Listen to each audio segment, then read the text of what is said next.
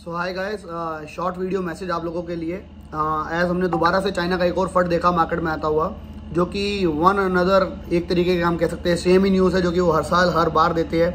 हर बार फर्ड create करने की कोशिश करते हैं मार्केट के अंदर. But every time we have seen जब भी चाइना का फर्ड मार्केट में आता है उसके बाद इनफैक्ट जो वीकेंड होते हैं वो तो निकल ही जाते हैं लिक्विडेट हो जाते हैं बहुत सारे हाई लेवल वाले लोग. और उसके बाद वहाँ से हमारे को एक अच्छा खासा पुश देखने को भी मिलता है.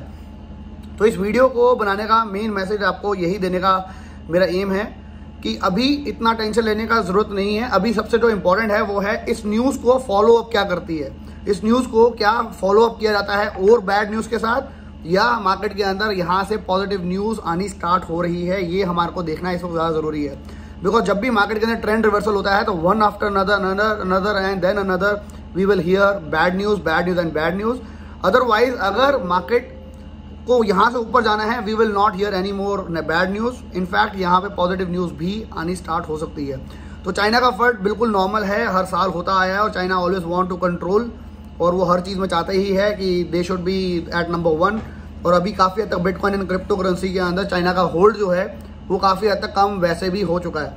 सो so, अभी इस न्यूज़ को इतना इंपॉर्टेंस देने की ज़रूरत नहीं है। Let the market stabilise and उसके बाद हम अच्छी एंट्रीज की इनफैक्ट हमारे को मौका मिल सकता है तो उनके ऊपर ज़रूर आप लोगों को ध्यान रखना है।